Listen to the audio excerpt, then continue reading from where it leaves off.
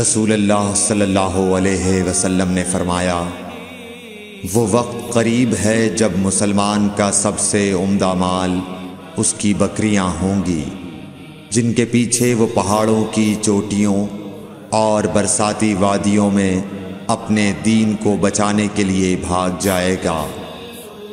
صحیح بخاری حدیث نمبر انیس۔ صلو